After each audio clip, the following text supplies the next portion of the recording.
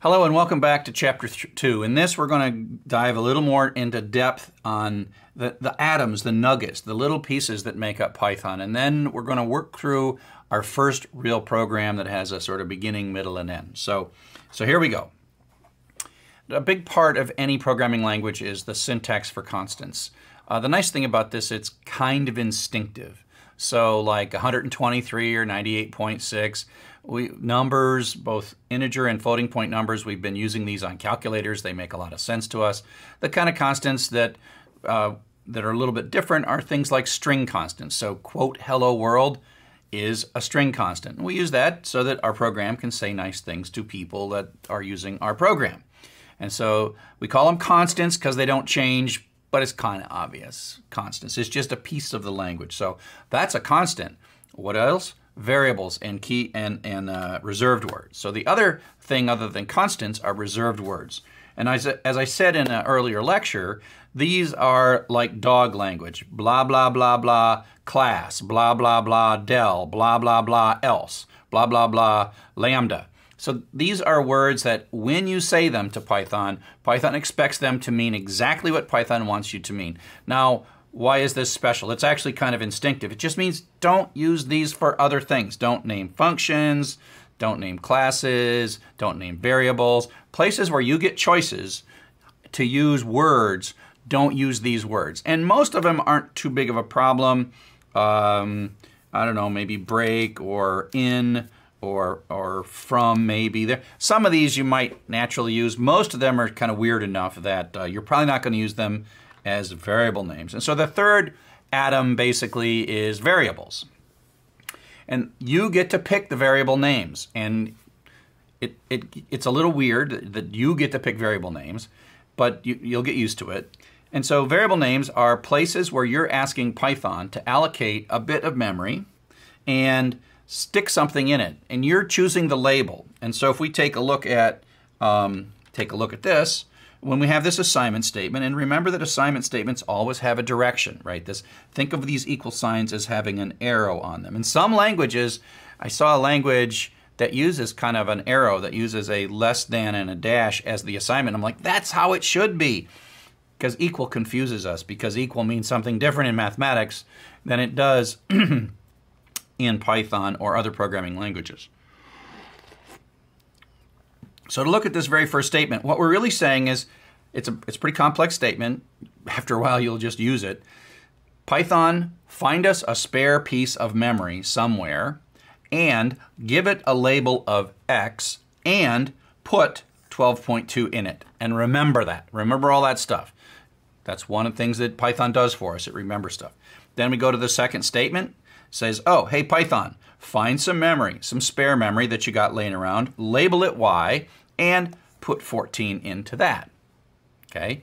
And so that's how these things work, and you chose X and you chose Y. Now, if we keep on going in this code, and now we have another line, and we say, oh, hey, X, wait a sec, I already told you about X. X already exists, so don't go and grab any new memory, but stick 100 in that. So 100 goes in, and it wipes out the old value. So this that's what happens. That's when this sequence starts. This happens first, second, third. And so the third thing is the last thing. And so x ends up with a residual value of 100 in it. So that's kind of variables and assignment statements. You have some naming rules. You can start variable names with letters or underscores, although we avoid underscores because Python tends to use underscores for its own internal purposes. And the rest of it can be letters, numbers, and underscores. And it's case sensitive, but we don't want you to depend on that. So spam all lowercase, spam with one uppercase, and spam, these all are different variable names, but you're not doing anybody any favor if you think that's being clever. We tend to sometimes use uppercase to signal things, which we'll talk about uh, later, but uh, we tend to use mostly lowercase. Some applications use what's called camel case, which is a mix, but you tend not to depend on the fact that these are unique because you really are misleading the person who's reading your code. But we have some good ones, spam, egg, spam 23, numbers are fine. Uh, it's fine to start with a underscore. It's bad to start with a number. It is bad to start with a pound sign, although that turns into a comment. And you can't use uh, characters other than letters and numbers in the variable. And so those are all uh, good variable names. Now we lead these things into sentences or lines.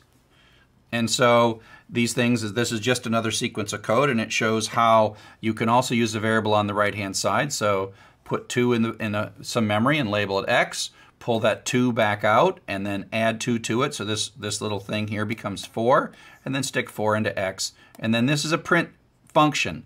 And the way functions work is they are the name of a function followed by a parenthesis followed by another parenthesis and then you can print something, what you want to print.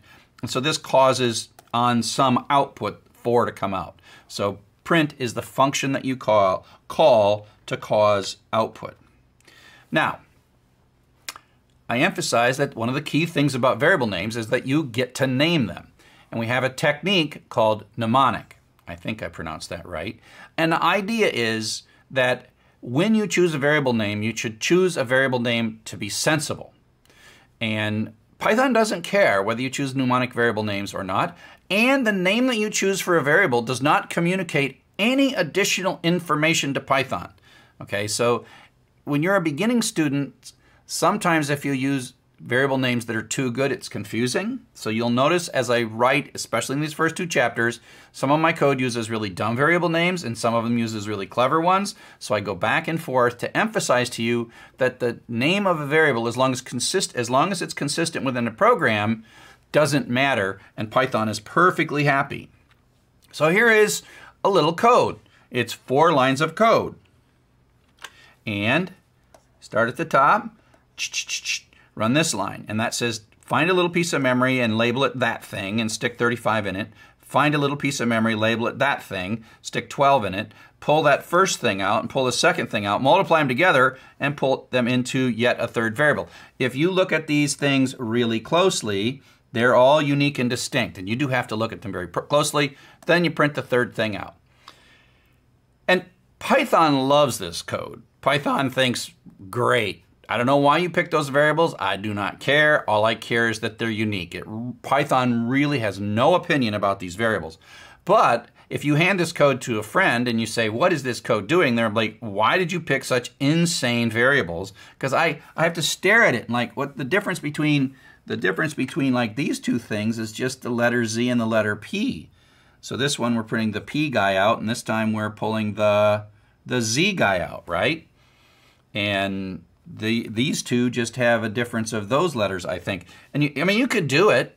Python Python loves this stuff. To Python, this is perfectly understandable code. To human beings, it is not perfectly understandable code. So like people aren't going to like you, but Python is going to be very, very happy. I can't draw a happy snake, otherwise I would draw a happy snake. So this is tacky, bad, not friendly. So let's make it a little more friendly. You could choose variable names. To those, Python looks at these two things as like, those are the same. They're, they're, they're totally the same. Python doesn't care. But now we can look at it and go, oh, I see. The first variable is A, and we're putting that A thing there, and the second variable is B, we're putting the B thing there, and then we're multiplying it, put them in a C thing, and then we're printing the C thing out. That's pretty nice. So this is a little better right? At least we can parse it and read it and understand what the code is going to do without having to check to see if these two characters are the same or different. So that's better, but it's not mnemonic. Okay, mnemonic means that we choose a variable name that makes sense for what we're using it for. Again, the variable name and Python looks at all these three things as the same. All Python cares is that this matches this, this matches that, and that matches this. But humans are much happier. Humans are much happier. Now, we understand mentally that the first variable, 35, was the hours. The second was the rate per hours. And then we computed a pay and we printed it out. So this is really understandable. The problem is for beginning programmers, it sometimes is too understandable, right? It's too understandable. Right? Huh? Python knows about payroll? Because if I name a variable hours, shouldn't Python know that that means hours? And if I name a variable pay, does that mean that Python knows about this? And the answer is no. Python Python treats all these three as equal. Python doesn't look at the name of your variables and think, hey, you just had a bug, right? So what if, for example, I rewrote this code and I said hours times hours? And it's like, wouldn't Python say, hey, that doesn't make sense. Why would you even multiply in a payroll calculation? Why would you make, multiply hours times hours? And the answer is Python will happily do it because it's not looking at those words. But a human being who's trying to understand what your code is or trying to help you when you're writing code, debug your code, will be very thankful that you chose good names. And now I can look at your code, and if I see you say pay equals hours times hours, like why did you multiply hours times hours? Didn't you really mean to multiply hours times rate? So mnemonic variables are only for humans. You, we will later see things that will confuse you when I name one variable friend and another one friends. And you'll be like, oh, so Python understands plurals. And the answer is no, Python doesn't understand plurals, okay? It's really helpful to read stuff so that when something has more than one thing in it, you might maybe use a variable that's got a plural in it. So, okay, enough about that. I think, I, I hope I made my point. These are all the same to Python, but human beings certainly prefer the second or the third. And so, but be careful. In after chapter 10, this will all, you'll start using mnemonic variables and it won't be a problem. But in the first few chapters, you have to worry about it. So as I mentioned, assignment statements basically are not like mathematics. Equal sign means equality assignment statements means arrow. And, and the key thing is you can almost think of this as like there's a little wall there, and it completely computes this expression. This is an expression on the right-hand side, gets that down to a single variable, and then writes it into the variable into the into the memory location. And that's why it's possible to have the same variable on both sides because this side happens first, ignoring this side, and then once this side is done, then it actually puts it into that other side. And so if, for example, x before this statement started had a 0.6 in it, it it's like firewalls this part off and it computes this part here by pulling the 0.6, the old value of x, doing the computation, running through the things, getting the new value, and then after it's got that new value, then and only then does it store the 936 into x, and that overwrites the 0.6 that was in x, okay? And so one side finishes, produces a result, and then it can overwrite. It doesn't mean you have to put the variable on both sides, but it's why you can put it. And so sometimes we'll say something like x equals x plus 1, and that's our way of adding 1 to x. And that's because whatever x is, maybe x is 6 or something, this becomes a 7, and then the 7 goes into x, and then it overwrites it to the 7. We call this increment. We'll see this soon. Okay, but that's why you can put the same thing. Now in mathematics, x equals x plus 1 makes absolutely no sense, but in programming, it is one of the more common things that we do. Okay, so that gets us through variables and constants, and now we're going to talk a little bit more in detail about expressions.